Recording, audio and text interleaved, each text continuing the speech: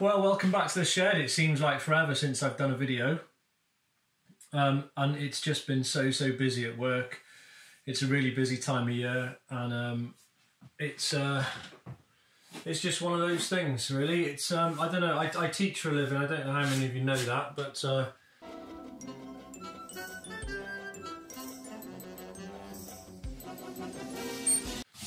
I teach engineering, mechanical engineering, and um, it's it's just a really busy time of year. So trying to get a video out has been uh, not just the video, but trying to get the footage to do the video. Um, plus seeing my kids and uh, you know work and obviously you've got to give some attention to the missus from time to time as well. So it's uh, it, it's been busy, but what I wanted to do was uh, I wanted to do a, a proper video on um, some cleaning products from a company that have been really really kind and provided me with with a range of different cleaning products and also sanitizing products for helmets, um, visor cleaners and stuff like that. They're all here. I, I won't. I'm not going to get into too much detail now because, um, well, first of all, the bike needs to be in a in a state that it can be cleaned. And if I use them now, it's going to be it's it, the bike's immaculate at the minute because uh, I half thought about putting it away for winter. But we have got some drier days coming up, so I'm going to have to get out on the road, um, get the bike dirty, and give some of these products a go. And I'm going to do a video about that. I just wanted to really introduce you to uh, the company. If you haven't heard of them, the company is uh, Diomyx. So D I O M Y X diomyx.com. They use the hashtag Uncle Albert. Um, I found them on Twitter, and what I did was, um, you know, I was just looking at, I was just looking at different cleaning stuff for the bike and whatever. And I just, I just come across them and I messaged them and said, you know, I do YouTube videos and I've got a channel. You know, I've got Instagram, got Twitter. Would you mind sending me some products that I can look at, um, even test, um, and you know, I can give an honest review and um, introduce people to your products. So, you know, obviously I haven't used the products yet. They are here. I'm just going to give you a really quick look at these products now, just to let you know what they are. Obviously, plug their web address, have a look, see what you think. Um, they seem pretty keen, really helpful, lots of information on there. They don't do products just for motorcycles, they do cars and they also do sort of HGVs, haulage, lorries as well, that sort of stuff, the bigger, the bigger stuff. But as I said, they were really kind to send me a kit of what they thought would be the best products for my motorcycle. So it's uh, diomyx.com, D-I-O-M-Y-X.com.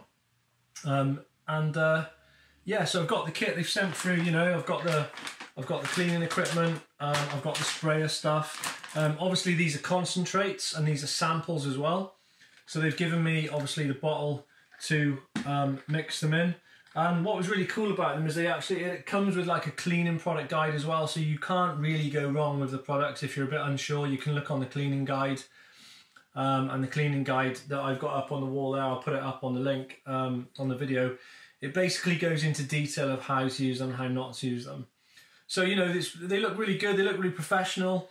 What I like about them is like all these cool colours. Um, and you've got sort of like, you know, this is a this is a wax, cleans, polishes, waxes, freshens, four in one clean, protect, advanced clean formula for inside or outside use. Um, you know, and then oh, the other thing is that they're made in. Here you go, made in Derbyshire. So made in the UK, made in Derbyshire. Um, and uh, you know, it's got all of the information's on here. It tells you exactly what's in it, what what it contains. Um, non-hazardous according to the chip regulations. And you know, the directions are on there as well as the thing that they send. But you know, they all look pretty cool. Um, so I'll show you what we've got here. Uh, I'll show you what they've sent me. Look them up um, and see what you think. And um, maybe buy some of their products and have a go. Or, even better, if you've got a channel or Instagram or a Twitter account or you've got, you know, some followers that you think that could benefit from these products, maybe just ask them to send you a sample and see where you go. They seem to be really accommodating. Um, um, from you know from who I've spoken to so far at the company. So I can't wait to use them because obviously they've gone out their way to send me all of these and uh, put a kit together especially for motorcycles. So I'll show you what we've got. So we've got um, Presto Tar and Glue Remover. Removes tar spots and glue residue. Non-acid alloy wheel cleaner. Removes baked on brake dust and grime. We've got the helmet and visor, clean and protect. Got the helmet interior sanitizer spray. Um, smear-free glass cleaner. Deep clean concentrate. Um, I haven't looked at that one to be fair, so I presume that can be used in most places. Um, yeah, alcohol cockpit sanitizer. Um, what's that? High foam manual wash and wax concentrate. And then you've got the Diowax, cleans, polishes, waxes, freshens. And these these aren't just for bikes, by the way. Um, some of these obviously are for cars or or you know whatever really. Um, but obviously some of these are just for bikes. But you know, faded plastic rubber restorer. But yeah, they look pretty cool. And as I said, you know, they've sent a good selection there. And there are some that are, you know, specific for motorcycles. Obviously, you've got the the helmet and visor, clean and protect. You've got the helmet interior sanitizer spray. And then you've got obviously a smear-free glass cleaner. So it'd be interesting to see what they do on the helmet. Um, and my helmet as well, it's it's really old. It's like I've got a couple, obviously, but uh, the one which is like a budget nitro helmet, uh, it's falling apart inside, and it could do with a good sanitizing. So uh, it'd be interesting to see. And then obviously they send the kit, um, and I can mix it in here, mix the concentrate in there, and they've also sent. So you've got like uh, cleaning guides as well. So they tell you exactly how to use each product and how not to use each product.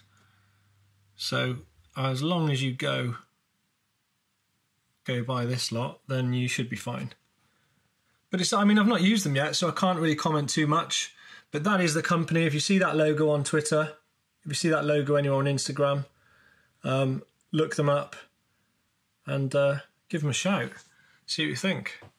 So there you go. It's just a short video to catch up, really. Let you know I'm still here, still alive, still kicking.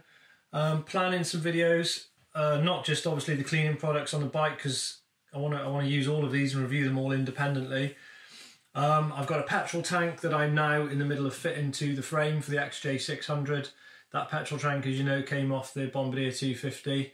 I've actually come up with a way that I can cut the tank down the middle and open the tank up and then weld in a couple of almost like gusset plates and a seam weld down the middle, um, which I'll be doing hopefully before Christmas because, um, as I say, things are really busy. But as soon as I can get on the welder, um, which should be next week, I can start getting some footage together for my XJ600 Scrambler project, which I haven't forgot about because the rest of the bike uh, is here. We've got an engine behind here, We've got the XJ600 engine there, and then literally what you can't see under all of this bench um, is the XJ600 in bits.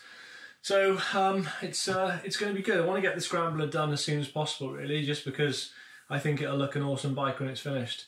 But the problem has been the tank and getting the tank modded to fit on the frame, but that's another story. So um, yeah, and in between that, just doing bits on the workshop, bits on the shed, should I say.